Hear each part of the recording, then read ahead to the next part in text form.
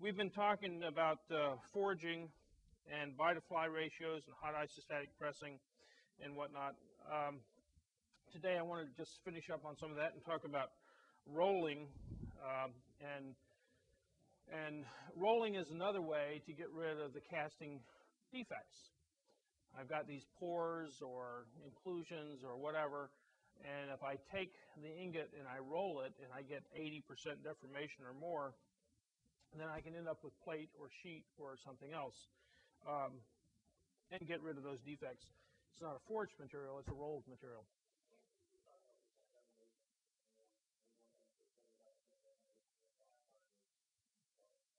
A four, four times extension, 75%. 75% deformation is means it's down to one quarter. You if it was four inches thick and you deform it 75%, it's one inch thick. That means that it's extended its length by four times. Okay, that's the way deformation people think of it. Unless you're talking about a wire, if you reduce the diameter of a wire by 75%, you have it 16 times longer, right? Because it goes as the area, right? It goes as r squared. So um, wires take less diameter reduction to get the same 75. You need 75% squeeze to squeeze out the defects and get things together and enough extension to extend the contamination that you get enough bonding. Okay? That was what the whole cold welding thing was all about. Okay? And it, the iron number is around 75, 80% deformation before you, the iron oxide, remember that whole thing on the cold welding had to do with indium was the easiest one because it had a super hard oxide in a soft metal. And that meant that when you, you would break the oxide and you wouldn't spread it out like peanut butter. Copper oxide, you need like 90, 95% deformation because copper oxide is like peanut butter. You could squeeze it together, but then as you extend the surface in shear, all you're doing is spreading the peanut butter and you still got contamination there, okay, over the whole thing. You got to get to like 10 times new surface before copper will bond to itself, before you've spread the oxide out thin enough that it's no longer harmful. Okay? I mean, you still got inclusions in the metal, but the metals have inclusions anyway, little oxide particles. But if you have big distance between those oxide particles, and they're uh, 50 microns, two thousandths of an inch in size, you know, you can do any fracture mechanics you want on them, they're not harmful. Okay, in a ductile material. In a ceramic, it'll cause it to break. But in a ductile material, it won't. So you can tolerate inclusion defects, or flaws, not defects, they're flaws, imperfections in the metal. As, in fact, most metals have something on the order of 1% inclusions or dirt within them. You polish it and look at it on surface. And they have various standards for this. You can, you can uh, make this, the steel cleaner by doing vacuum melting or something like that, except you can't make some kid's wagon out of a piece of steel that's vacuum melted. You can make an aircraft landing gear out of vacuum melted steel. In fact, you have to make aircraft landing gears or um, uh, crankshafts for uh, for uh, uh, aircraft engines. Those are vacuum melted because if you vacuum melt, you get the oxygen out and you have less inclusions. Okay, and these things can fail by fatigue. And so a little flaw in some of these high strength applications, a small flaw in a big delta K, a big stress, means a big delta K and you can get fatigue cracks. So, um, for example, the uh, uh, Sioux City, Iowa crash, uh, where they lost the turbine disc, okay, and the guy landed successfully in Sioux City, the, hero pilot, but they had a titanium nitride inclusion in that titanium disc, and it was about a quarter of an inch or something in size. I didn't work on it, but other people, uh, Professor Blue here did, and some other people did. Um, uh, it was like a quarter of an inch in size. Well, that was all vacuum melted, electron beam remelted, and they should have gotten rid of that. Remember I told you that the defect size is proportional to the casting size? What they do, titanium has to be vacuum melted. Um, but they they remelt the whole, they, they take an ingot, um, here's an ingot, Okay. Um, and so they take this ingot and they basically remelt it into a copper chill. And so the, the solidifying layer is maybe only an inch thick. So the biggest flaws you're going to have are going to be some fraction of an inch. Well, this was about a quarter of an inch. and that was bigger than usual.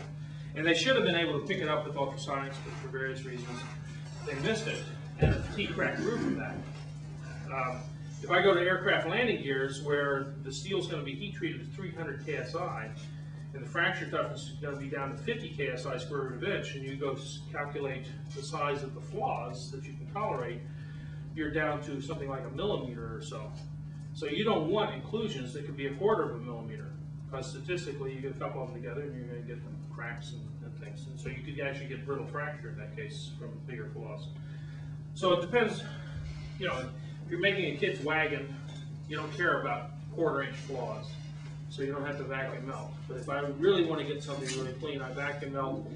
And I often do remelting in a process such that the, the casting, I might end up with a big part, but I'm, I'm casting it in a, in a continuous or semi-continuous manner. And the, the liquid pool from which the metal is solidifying is much smaller and therefore the size defects are gonna be smaller, okay? So there's all kinds of little tricks that we do. Um, I, I passed around that, that brass piece or the manganese bronze piece that, uh, we had done the electron beam melting on. Well, now you've got little, little, it's like putting a little string and wrapping it around something. And the size of the flaws, or the size of the casting is only uh, you know, three sixteenths of an inch. So the maximum size of flaw is, is significantly smaller. In fact, that's basically what the stu- one of the students' doctoral thesis was on, was Inconel seven eighteen, which is a uh, turbine disc alloy. And um, regular as cast turbine, turbine disc and forged can have flaws that are uh, tenth of a millimeter or even two tenths or three tenths of a millimeter in size when you do his process of this little electron beam and build the thing up that way, they're, they're about five times smaller. And so therefore, your fatigue life is gonna be better, okay? And that's an important thing. So you actually can get better properties when you do things like that. You get finer grain size and other things. Um, Other questions? Which actually leads us into some of this other stuff about, um, if I wanna roll something, I can roll things all the way down to sheet. But it turns out I can't just use one rolling mill. If I want to start with big heavy plate, or what we call blooms or billets or ingots, um, that are four to eight, ten inches thick, I need a big rolling mill. And that rolling mill is going to cost me something on the order of a half a billion dollars for the whole plant. Okay, it's going to be one and a half times the length of a football field. It's going to have rolls that are three, four feet in diameter. The world's largest rolling mill is in Davenport, Iowa. It's owned by Alcoa, and it has rolls that are about six, in- six feet in diameter. Have you been there? No. No, we're thinking about going there. Oh, okay. Yeah Where are they making the rolls at? steel, okay? And the, uh, the Davenport is where they make the four-inch aluminum plate that is going to be machined into the wings of aircraft, for example. Um, And the, uh, the aluminum's hot, but steel is water-cooled. In fact, there's a little story on that, that uh, we want to tell stories on Davenport. Um, I had an LFM student working at the Davenport plant, and they were having significant amount of scrap because the plate was not coming in at the right thickness. And so we watched, I was out at the plant and, and, uh, the student and I looked at the process. And basically they roll these great big plates back and forth underneath the, the rolls. And at some point, they thought it was close to final gauge. They would stop the mill, a guy would pull up this little wooden step ladder with three or four steps. He would get up there with some micrometers, he would reach out, and he would measure the thickness of the plate. This is high technology here, right? At one spot, okay? Well, that was the thickness of the plate. And based on that, they kind of calibrated, did one or two more passes, finished the plate. And then they goes down to the next spot where they're gonna do some heat treatment or something else, and someone takes a micrometer and they measure the thickness, but at a different spot, and lo and behold, it's not the same, okay? And they were getting all kinds of variation. So, uh, uh, I suggested that Julie should, uh, over the next couple months, um, measure, take a couple of plates through, get an ultrasonic thickness gauge, and plot exactly what the shape of these plates look like. And so she comes back in September for a knowledge review, for those of you that are LFMs, and she shows me a picture that schematically looks like this. here's the plate. At one end, it's got this big bump on it. And sometimes the plates have big bumps on both ends. And so first I looked at that, and this is not a small thing, this might be a three quarter inch plate, and this might be off by five percent, thirty thousandths of an inch. So this is seven eighty versus seven fifty. And so, uh, I was sitting down there in my office, and, uh, she's showing me this data, and finally, oh, I thought, I know what it is. I remember when we were out there, to cool the steel rolls, when you have these hot plates going through, you just kind of have the water pouring over the rolls, to keep the rolls from getting too hot and distorting and stuff. And I remember, you have this hot aluminum plate, and I remember when I was watching that one day, that I'd see the, the steam coming off the surface, because some of the, some of the water from the steel rolls would pool on the plates. And I remember at the end of the plate, there'd be this pooling, and I don't know if you've ever seen, if you pour, uh, water on, on, uh, something that's four or five hundred degrees, and you pour enough water on, you actually, it forms steam, and the, and the water actually is levitated on this layer of steam, because you're, heat transfer. If you ever poured liquid nitrogen on the floor, it's the exact same thing. The liquid nitrogen is, uh, basically levitated by the, the gaseous nitrogen from the warm floor, okay, below it. So it's the same type of thing. And I said, you know, I bet they're cooling down the ends of the plate. And she shows me the, the force separation on the plates, on the rolls. And lo and behold, sometimes you see a single blip as the plate comes through at one end, uh, increase in force, separating force of the, that they monitor on the rolls. And the other one, you'd see it at both ends. I said, you need to go find out, you know, and, and monitor that and find out what's going on. She calls me up the next week and she says, well, you know, they actually intentionally roll the plate with the, with the top roll going a little bit slower than the bottom roll because you don't want the plate, if it distorts, to go into the bed of the uh, table uh, where you have all these other little rolls because it'll just tear up the bed. I mean, you just destroy your equipment. So they actually intentionally try to put a little curl on the end of the plate so it won't dig into the bed, which meant you ended up getting a, a little pool where you could collect the water.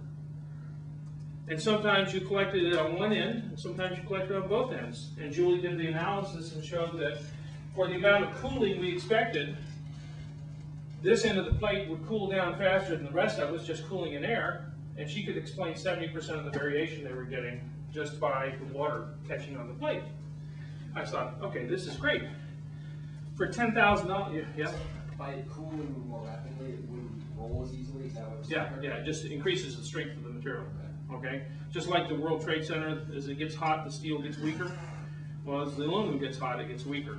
So the cooler aluminum is stronger, for the same separating force, you get less, less deformation, right? So, so I said, well, this is an easy problem to solve. Uh, you can get rid of seventy percent of your process variation by just putting in an air knife. An air knife is just compressed air that you blow the water off the surface, right? They already had compressed air in the plant. I figured even in a great big mill like that, it couldn't cost more than ten ten thousand dollars to put some piping in, right? You, would say, why wouldn't it cost more than five hundred dollars? But you're in a big mill, big plant, okay?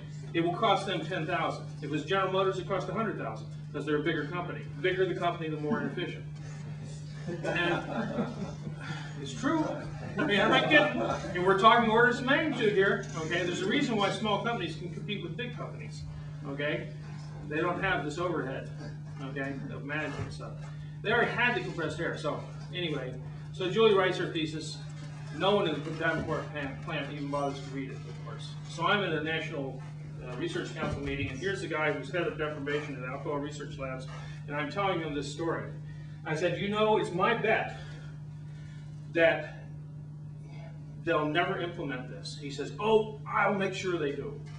So a year later, we were at another one of these meetings. I said, uh, uh, by the way, uh, they ever put the air knife in? I don't know. I told him. I said, I said, I'll bet you ten thousand dollars they don't. Okay. And now he didn't accept the bet, but uh, he said, I'll make sure they do. A year later, we were at this same type of meeting together. And I said, by the way, did they ever put this air knife in at the Davenport plant? He just turned on his heel and walked away from it. Okay. I will bet you it's still not there. Okay. And they still, so when you go, if you do go, why don't you ask them, okay? Okay, I figured a one-day payback. Because if you don't scrap one plate, you probably save yourself ten thousand dollars.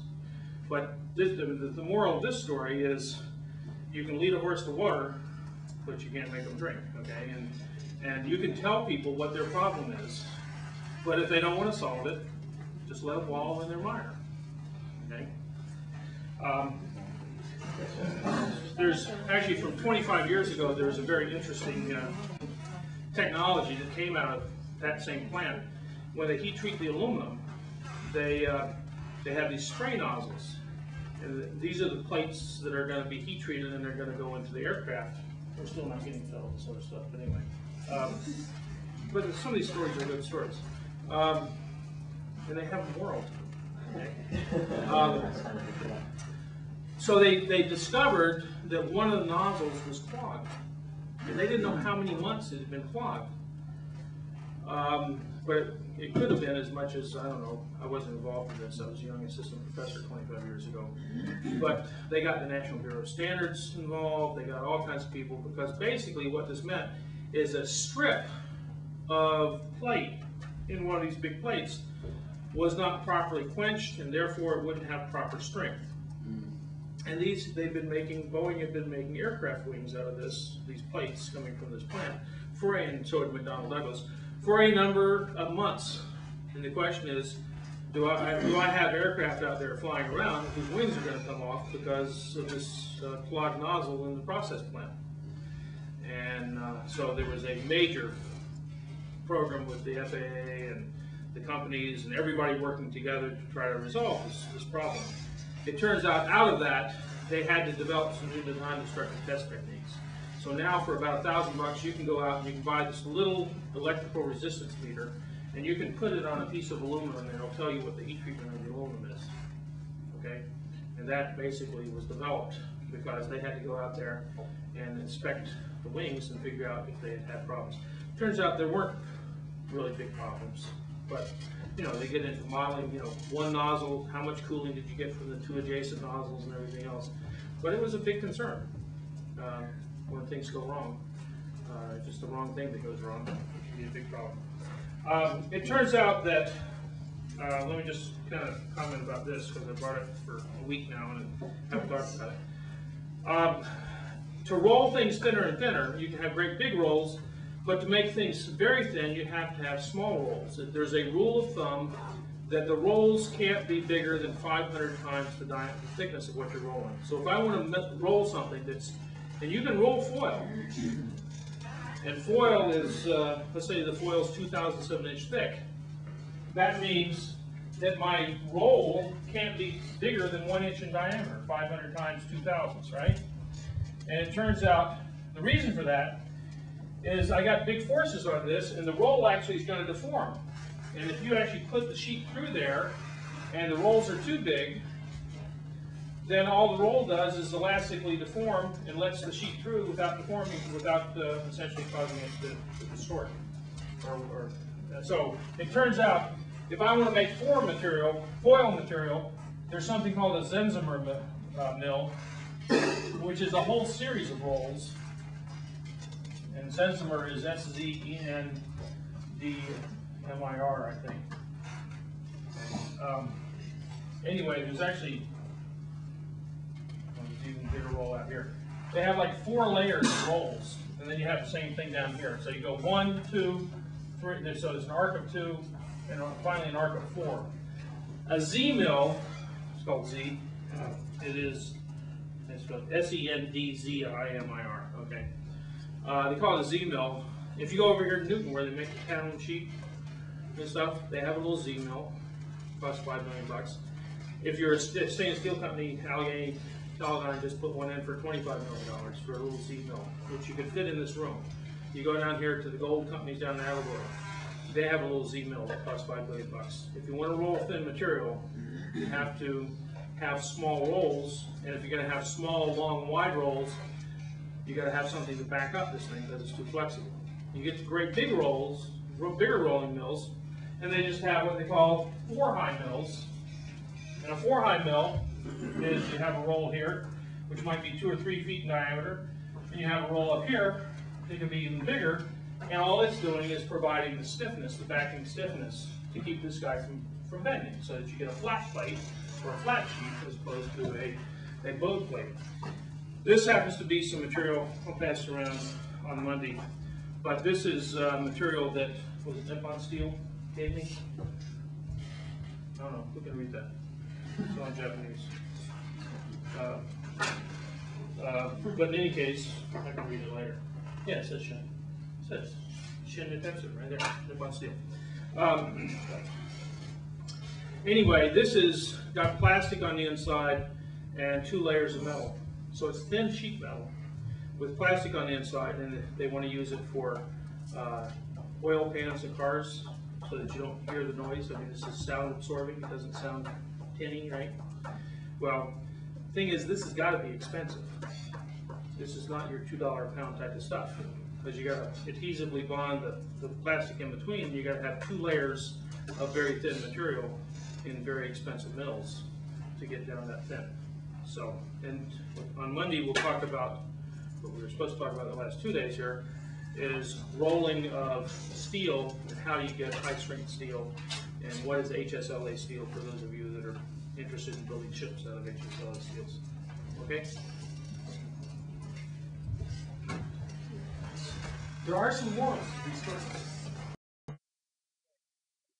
uh, last time I talked about Sendzimir mills and rolling. Um, the Z mill, uh, because your actual work rolls can't be more than 500 times, their diameter can't be more than 500 times the thickness of what you want to roll. If you want to roll thin sheet by less than 10 thousandths, you have to go to a Sendzimir mill. And so these things can have little work rolls that are one inch in diameter and three or four feet long. But if it's three or four feet long, obviously something that's more slender than the pencil, uh, it's got to have some backup. So it has extra rolls. You have two rolls behind this one, you have three rolls behind those two, and you have four rolls behind those uh, because you have to have two rolls around each roll to back it up. But that's the way you get the stiffness and the small diameter that you need for rolling. Uh, the world's largest rolling mill, which is at Alcoa in Davenport, Iowa, which is rolling uh, big heavy plate for uh, uh, for lots of applications, but that's where most of the aircraft wing uh, plate comes from. Uh, if I remember, those are about six foot diameter rolls, so they're pretty good sized rolls, and they, course, they have pretty good width too. Typically, in uh, such mills, they have what's called a four high roll, and you just have a big backing roll and a work roll, which is usually smaller. The backing roll is just giving stiffness to the work rolls, and that's a four high mill.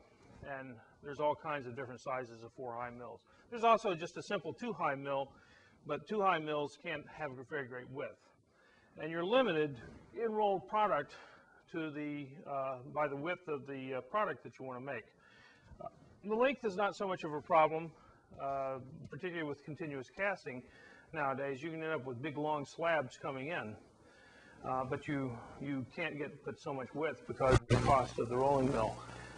Typically, on a steel plate, you can probably get something above eight feet, 96 inches, but I doubt you can get anything above 10 10 foot uh, width in terms of steel plate. Now, one of the things you'd like to do on particular on plate and things, is you like to be able to cross roll, and, and they actually start. Let's say you got a 10 foot wide mill, you might start out rolling in one. Well, actually, you wouldn't start out rolling that direction. You start out with a plate, um, and you would roll in one direction, and then you turn it 90 degrees and roll the other way, and that gets rid of some of this woody texture and you'll get more uniform properties if you can do some cross rolling, but you're limited in cross rolling by the width of the mill too. So there's only so much cross rolling that you're able to do. Yep. How you cut the plate? Depends on the type of plate. I'm talking carbon steel plate, you basically just use a hot uh, oxyacetylene torch. And those torches will actually move down the line with the plate. So they're on a little gantry, and so you cut across that way. Uh, thinner plate, we actually use plasma cutting now, and we'll talk about oxyacetylene and plasma. Um, things like uh, aluminum in thinner section, you just shear it. Um, they have big shears, really big shears. Just like metal shop, except now you can be shearing something four inches thick. Okay. Uh, now now it's hot in many cases, and so it's it's a hot shear, but uh, it's uh, it's it can be pretty impressive to see some of these shears just kind of come down and slice this stuff up. I'm going to talk about the heat treat in just a second, okay? Um, because there's the answer is yes to both of those questions. Um, in fact, basically in rolling, if I go back to the the old days, the old days being pre-1960 or pre-1970, when I rolled steel, because of the limitations on the rolling mills, and just to give you an idea, a plate mill today or a sheet metal mill, uh, and they're two different mills because they have different size rollers and everything, different numbers of rollers. A sheet metal mill may have six, a gang of six of these four high mills right next to each other with only like four or five feet in between um, so that you can do continuous rolling and you're taking big bites. You put in something as a cold mill might be um, 150 thousandths thick and it comes out at 20 thousandths thick. But it's been rolled six times in one pass, if you will, because there's six mills in series. Yeah.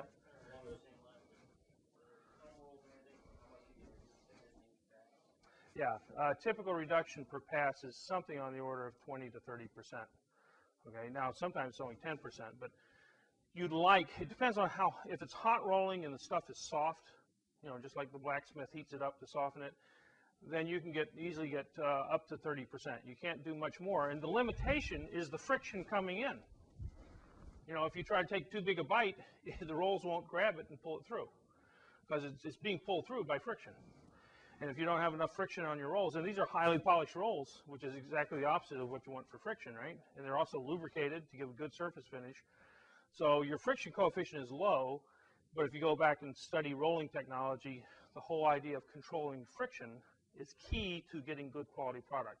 Surface finish, uh, reduction, and all these other things. Okay, now things, things are hot, there's not any lubrication on them, uh, uh, particularly except for the metal oxide that's on the surface. But for things cold rolling, lubrication is everything because that gives you sur surface finish and stuff. So but friction is key to the whole thing, and it does control the amount of reduction. The capital cost of a sheet metal mill or a plate mill right now is somewhere between half a billion and a billion dollars for the mill. So we don't go throwing around building new ones all the time.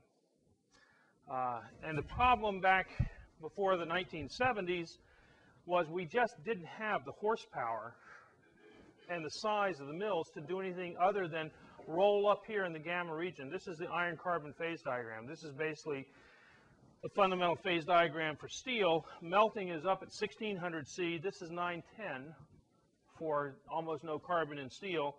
This is what's called the eutectoid temperature, where you go from face center cubic iron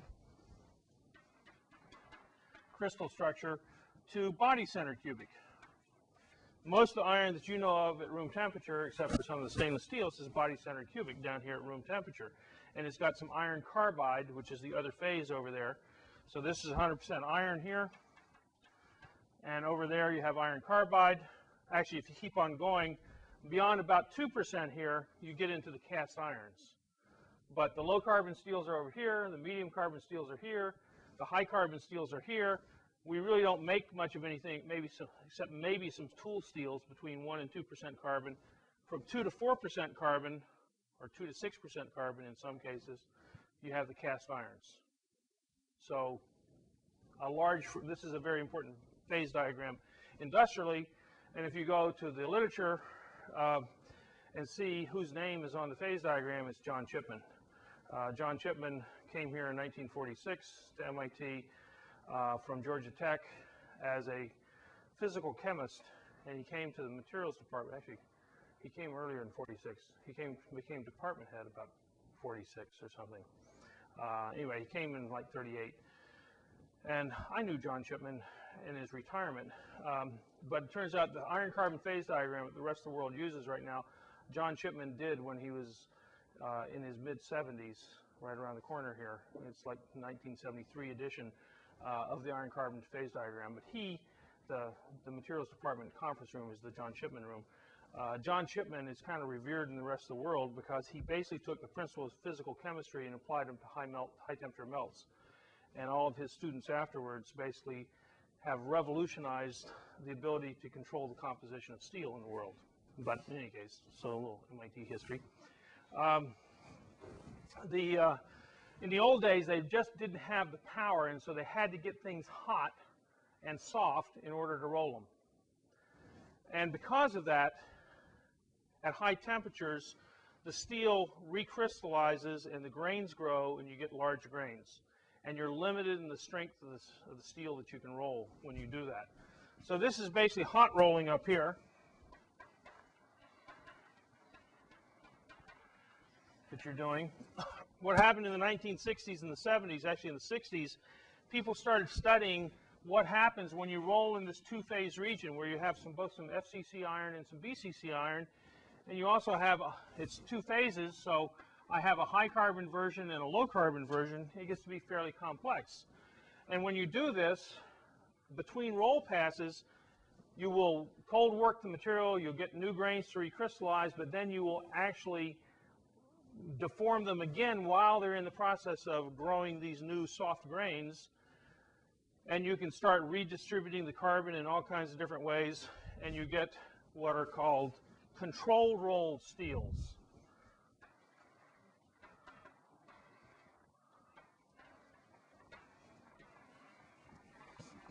And sometimes they use CR as the abbreviation for controlled rolled steel. Um, that's dynamic, dynamic recrystallization. It was big in the 1970s. It was big in the 19. It's big in the 1980s. It's still used, and you get kind of pancake-shaped grains. Up here, the grains become more equiaxed and fairly large size.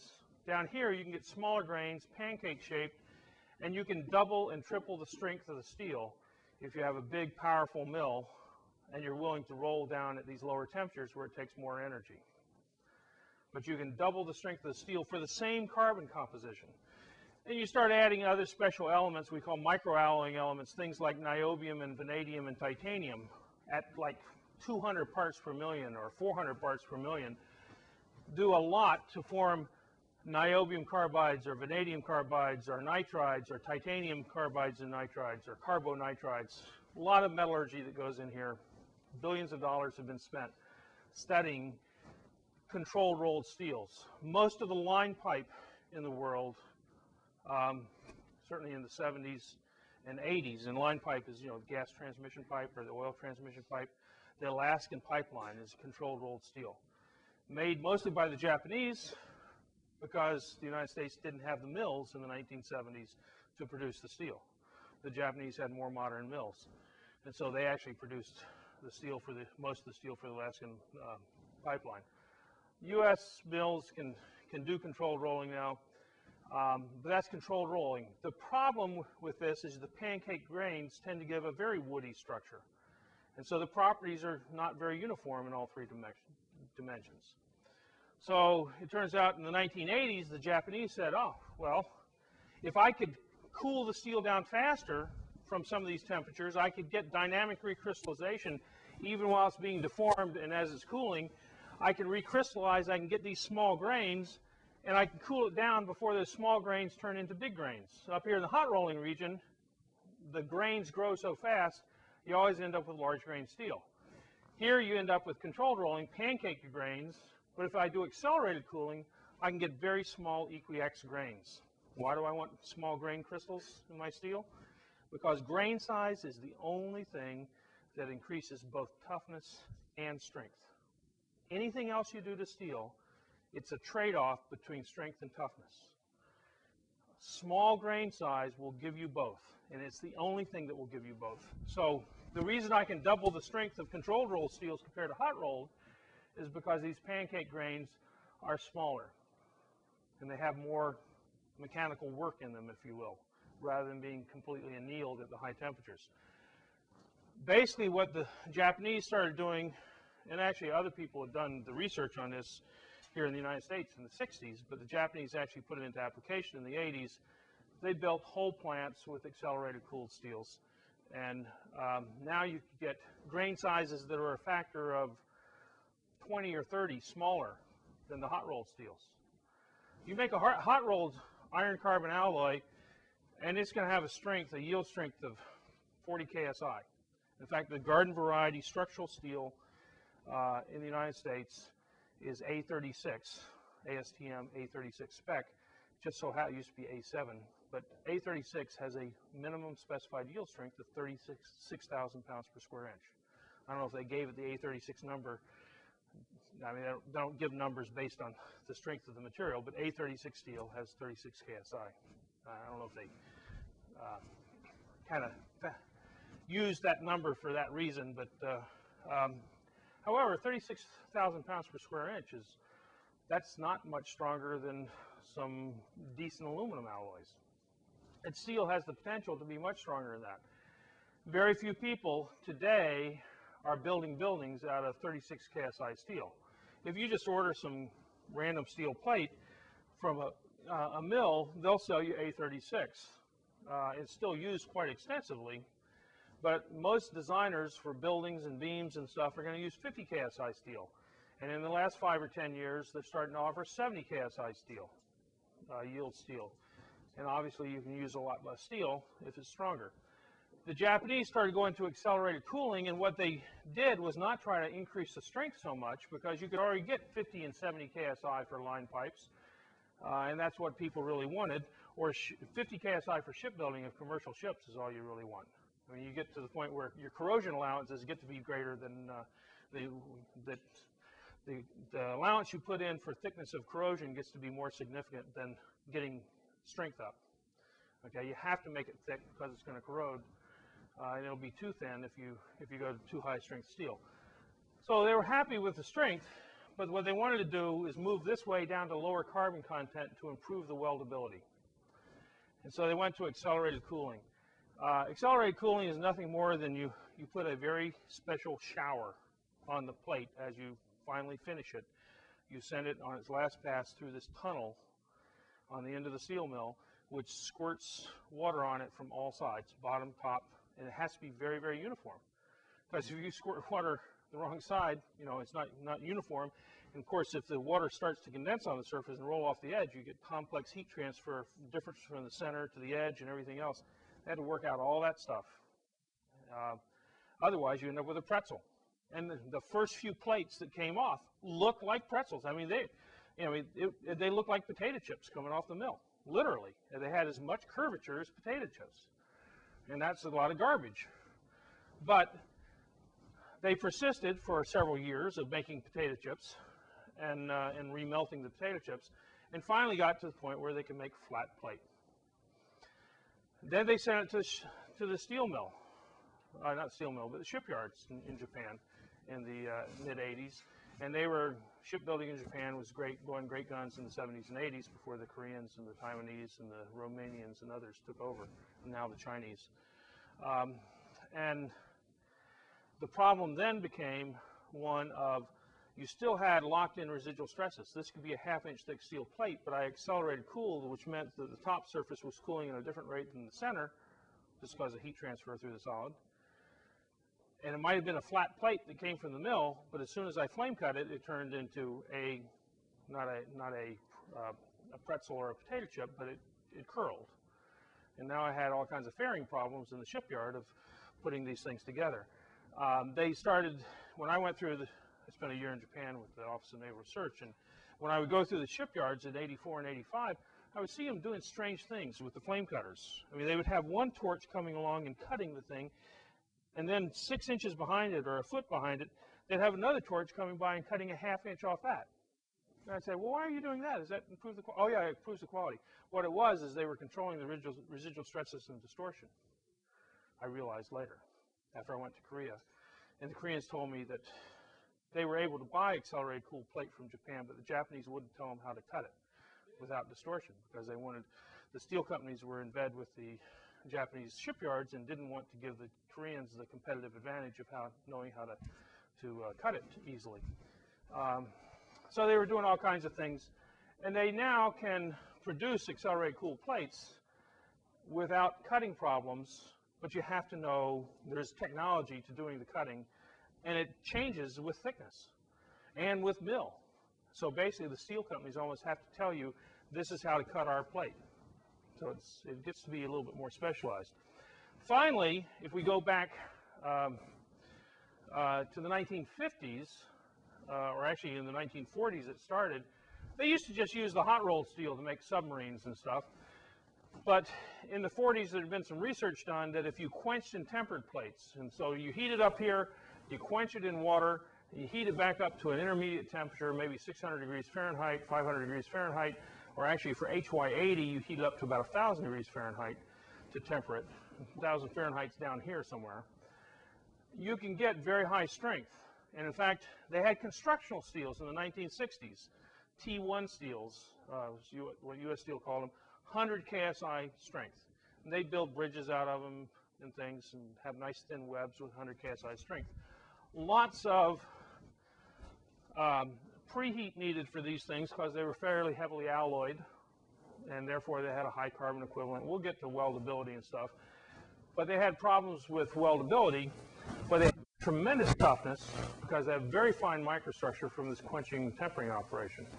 Why am I telling you about all this? Well, if you look at the spec, the new spec for HSLA 65, or if you were to look at HSLA 80 or HSLA 100, which are naval constructional steels, 65 is hopefully going to be approved in the next six months or year for uh, um, uh, use in surface ship hulls, and they need it for the next class of aircraft carrier. But, but the HSLA steels at 180 and 100 KSI are already used in some other applications in uh, surface ships. And the, and the HY steels are, are back from the 1960s. They were developed in the 1960s, HY80, HY100. HY130 was developed back then. It's garbage. Don't ever use it. Okay, spent $50 million developing it, but it can't be welded under practical conditions, only in laboratory conditions. But the Navy now has a spec that essentially includes all three, control rolled, accelerated cooled, which is usually called AC, and quench tempered is called QT. So there's a single spec that says, for HSLA 65, says give me 65 KSI yield, and I can't remember what the tensile is, but it can be controlled rolled, accelerated cooled, or quenched and tempered for different thicknesses up to about an inch and a half, inch and a quarter, inch and a half. If you're interested, I can get you the spec. Um, it, it is an ASTM spec. So they're trying to make it commercial um, and easily used interchangeably with commercial steels. Um, and these commercial steels have been around for 15 or 20 years or 30 years. So it's not as if there's great new technology here. What they're doing is they're using existing commercial technology and they're trying to make it meet the Navy specs, which include things like explosion bulge. You don't usually have to do explosion bulge on bridges, okay? Till now, till recently, more recently. Uh, but even so, um, the problem is you can get fantastic properties here. You're talking four or five bucks a pound because of the quenching and tempering operation. Very inexpensive, low preheat, um, tremendously easy to weld, but can have some distortion problems in, in because of the locked-in residual stresses. This can have variable properties in different directions. But all of these things are giving me much finer grain size and improving both my strength and my toughness. Um, the Navy's requirements for strength and toughness combination exceed those of bridges and buildings. Although bridges and buildings are coming up in the world in that uh, things like the Northridge earthquake in uh, California in the early 90s basically taught people you really do need toughness in uh, seismic uh, loaded structures. Now, why the civil engineers couldn't figure that out before the earthquake, okay, that you actually could, but they didn't. So, now, um, the last thing I will show you is an overhead of net shape casting. This is continuous casting done at Chaparral Steel, which is down in Midlothian, Texas, out of Dallas, outside of Dallas. And this is the cast shape. It's basically cast like an I-beam. So they're casting the steel not as a rectangular solid, but as an I-beam shape. It turns out by doing this, you can see they get cooler. I mean, here, you asked how they cut back here? On a hot piece of steel like this, you just blow oxygen on it. You don't even need to heat it up with a flame. It's already hot enough. You just blow oxygen, and the oxygen cuts right through the steel. And it's on a little gantry, and so they're cutting the continuous cast strand into billets that they can subsequently roll. It turns out that by going to net shape casting, which took them a little while to figure out, it's not a, exactly a simple thing to uh, take care of all the stresses as this thing solidifies. Um, oops, I thought I had on here. Um, the number of passes. Um, but in any case, it must be on another overhead I didn't bring. But the uh, they went from something like 28 passes. If you start out with a rectangular slab and want to make an I-beam, they used to do something like 28 passes, and now they're down to like 11 passes to finish off the I-beam from this. They get finer grain size because they started out with a finer grain size. It turns out finer grain size means greater strength. At Chaparral, if you buy A36 steel or grade 50 steel, they ship you the same thing. They only inventory one, one material. If you order at A36, they'll ship you and they'll call it A36, but it'll actually have 50 KSI yield instead of 36. It'll be just as weldable as A36, but you get the extra strength because they've got the better cooling in the net shape. Uh, it turns out they've also been able to make smaller I-beams than anyone could make before because there's less rolling and they, it keeps its heat longer. So now they actually can do it. They're making mobile homes and shipping them overseas made out of very thin I-beams.